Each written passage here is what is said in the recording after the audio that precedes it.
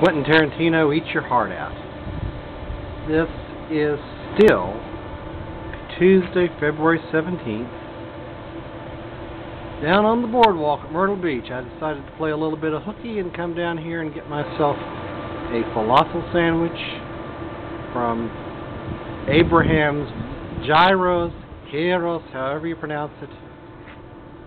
What's that can of orange soda doing there? Myrtle Beach, South Carolina. Chilly. It's about 50 degrees right now. It's a little bit warmer out here in the sun. And that, of course, is once again the Atlantic Ocean.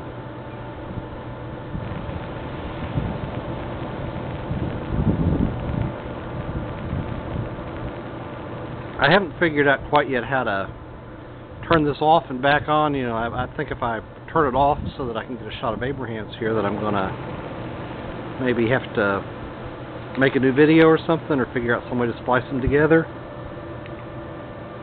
So I do apologize for the IMAX factor there. IMAX, like Max factor, IMAX factor. Well, anyway, you get the idea. This is looking down the boardwalk that, incidentally, at the very end, that um, green space that you see used to be the pavilion. Or rather, the building that got torn down was the pavilion. And there's green space there now. Picky, picky, picky. This is Abraham's. I'm putting some pictures out there of um, my meal there today. Um, I even used one of my few words of Turkish, haberler, meaning news. He had Turkish newspapers in there. I was, sit, I was sitting in, in there eating my falafel sandwich with french fries and reading Turkish newspaper and having a Food Lion orange soda because he was all out of Diet Pepsi. At least Food Lion orange soda, you don't have to like get it super super cold so you can stand to drink it. But as anyone who knows me knows, I am a Coke or I should say a Coca-Cola person, not a Pepsi person. Far from it.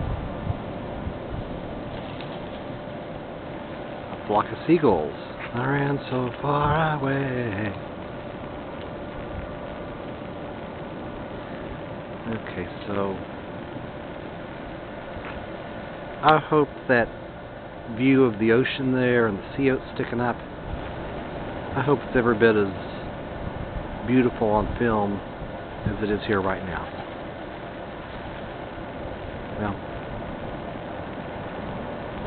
Gotta hit the road, gotta head back home. Talk to you later. Bye.